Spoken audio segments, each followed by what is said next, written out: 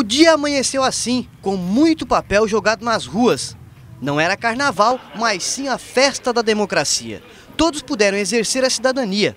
Em Jaguaruna, as eleições foram tranquilas, diferente dos pleitos municipais. Na cidade, que está se preparando para receber obras importantes, o voto neste último 3 de outubro pode influenciar os próximos quatro anos. Nós haveremos né, é, de cobrar as obras que estão em andamento, tanto no município de Jaguaruna como toda a região sul, através da Amurel, de todas as associações da região sul do estado de Santa Catarina. Em Sangão, a maior movimentação foi pela manhã. Apesar das enormes filas, não foram registrados problemas durante a votação.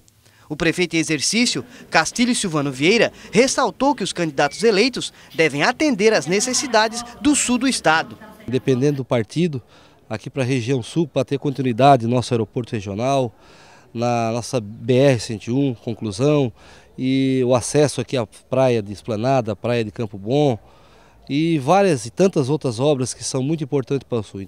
Em 13 de maio não foi diferente. As eleições transcorreram normalmente. O município, com 5.765 eleitores, espera dos próximos governantes a colaboração em obras importantes para o município. Nós, especificamente aqui para 13 de maio, dependemos também é, do novo governador do estado, de Santa Catarina, porque temos muitas obras prioridade, é, com prioridade para 13 de maio. Uma delas é, é a, a, ligação asfáltica, que vai aqui de 13 de maio a Morro da Fumaça. Nós estamos ligados aqui com a BR-101 por Tubarão e precisamos ligar 13 de maio com Criciúma para trazer o crescimento é, do nosso município aqui também através da, da região norte.